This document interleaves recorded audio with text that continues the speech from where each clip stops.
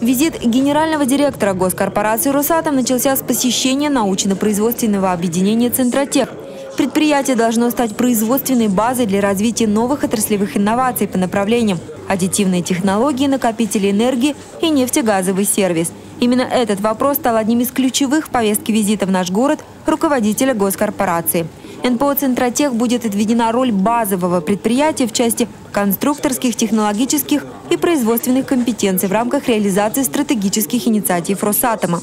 Так, к 2022 году предприятие намерено кратно увеличить выручку по этим неядерным бизнесам с 284 миллионов до 3,8 миллиарда рублей – в ходе производственного совещания с участием Алексея Лихачева также затронуты вопросы развития производства каталитических систем нейтрализации отработавших газов автомобилей.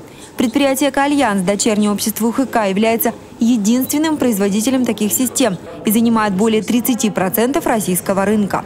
Второй пункт визита главы Росатома в Новоуральске – это городская поликлиника – Гости осмотрели входную группу лечебного учреждения и созданы в рамках проекта «Колл-центр» для приема и обработки звонков пациентов. Помимо этого, пообщались с медицинским персоналом регистратуры поликлиники. Медработники рассказали о своем отношении к проекту и участии в его реализации – Алексей Лихачев поблагодарил персонал медико-санитарной части за проделанную работу. Создание комфортных условий пребывания в учреждениях здравоохранения для жителей является важной составляющей эффективного лечения. Все, спасибо, успехов. До свидания. До свидания. Тарт Олимпросатома на сцене театра музыки, драмы и комедии. На три дня Новоуральск стал столицей театрального фестиваля. Ребята из семи атомных городов страны соревновались в актерском мастерстве. Итогом их плодотворной работы стал спектакль, посвященный творчеству знаменитого российского режиссера Эльдара Рязанова. Алексей Лихачев награждал со сцены самых талантливых юных артистов. Он лично вручил дипломы победителя Всероссийского фестиваля и путевки в Турцию в детский лагерь школы Росатома. Глава госкорпорации со сцены передал привет всем родителям, чьи дети участвовали в фестивале, и пообещал, что все будет хорошо. А также поблагодарил за настоящий праздник и пожелал дальнейших успехов ребятам. Возможно, именно эти дети – будущие звезды театра и кино.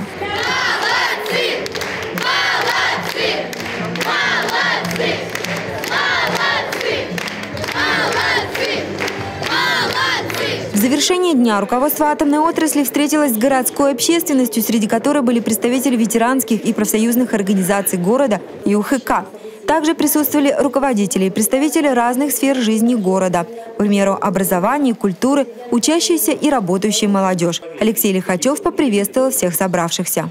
Уральск, мне кажется, очень привлекательным городом. Во-первых, у нас вполне здесь определенная повестка дневного предприятия. Мы имеем программу развития как наших основных ядерных компетенций здесь на площадке, так и новых продуктов, связанных как с оборонным сектором, так и с э, современными высокотехнологичными отраслями гражданской промышленности. Вот поэтому для нас точка роста, точка укрепления. На встрече состоялся откровенный разговор по всем наболевшим вопросам. Но особенно акцент был сделан на обсуждении состояния медицинской помощи в Новоуральске. Алексей Лихачев рассказал, что неоднократно обсуждал с руководством ФМБА состояние дел в Новоуральском здравоохранении. Он предложил создать рабочую группу с участием общественности и отметил, что необходим глубокий анализ деятельности медсанчасти для понимания того, как выходить из кризиса. Проблема медицины. Но вот уже как бы немного радует даже, что она сдвигается с места, то есть уже вот какие-то видны перспективы. И если мы уже решаем это, этот вопрос на уровне комбината, на уровне ТВЭЛа, на уровне Росатома, то я думаю, что, наверное, мы чего-то получим. Помимо этого говорили и о формировании на базе Новоуральского технологического колледжа Центра компетенции по промышленной автоматике. Молодой преподаватель колледжа, а по совместительству работнику ИХК Денис Никифоров поделился своим видением на этот счет. В итоге он услышал слова одобрения, информацию о том, что поддержка и Росатома, и ТВЭЛа будет предоставлена. Технологический колледж сейчас находится не совсем в лучших годах своего, когда, вот, когда он находился, и поэтому нужна поддержка. Эта поддержка будет организована, и а, Алексей Евгеньевич дал свое заверение, что Центр компетенции будет открыт, что э, этому уже придали импульс, что уже все, работа по этому запущена, и, в принципе, дети будут работать на самом современном оборудовании, что может быть лучше, чем такой ответ от нашего руководителя. Представитель выпускников города Макар Федоров спросил, есть ли перспективы у города, на что получил однозначно положительный ответ и заверение в том, что развитие городов присутствия госкорпорации – одна из главных задач Росатома если даже э, генеральный директор э, считает его перспективным, почему э, я, я его уже просто не могу считать неперспективным городом после этой встречи. Поэтому теперь я однозначно буду э, рассматривать его как э, одну из э, один один из этапов моего э, развития. На вопрос Валентины Кузнецовой, председателя профсоюзной организации неработающих пенсионеров УХК, о том, будут ли сохранены меры поддержки ветеранов атомной отрасли, Алексей Лихачев ответил утвердительно и добавил, что прекращение таких социальных программ отрасли может происходить только в самых крайних ситуациях и в последнюю очередь. Такой ответ не мог не порадовать. Лично для меня, как председателя э, ветеранской организации, важно было то, что э, я услышала, что социальные программы, которые направлены на поддержку и работников, и ветеранов, будут продолжаться, и они стоят в приоритете.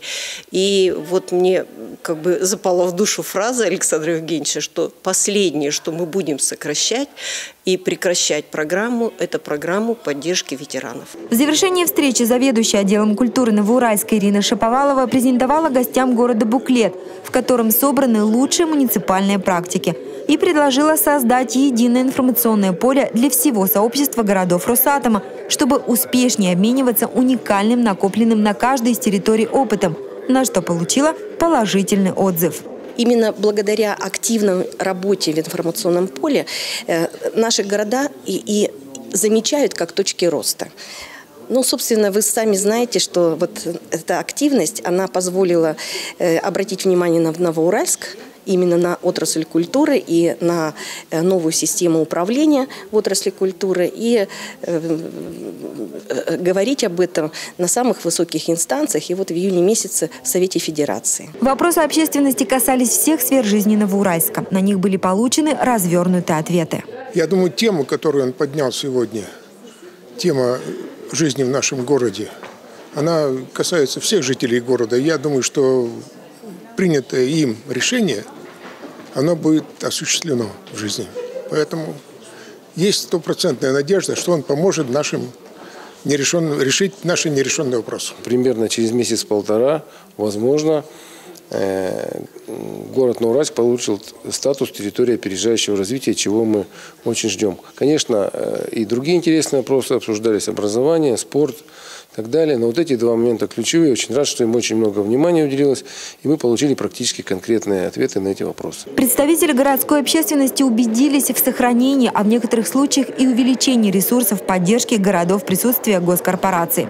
Участники встречи получили уверенность в дальнейших действиях Росатома по развитию местных сообществ, а значит – Новоуральск будут поддерживать и дальше всеми доступными для этого методами. Альбина Бабкова, Виктор Малышев, Николай Ларионов, Дмитрий Дедюхин, Дмитрий Орлов. Объектив. Итоги.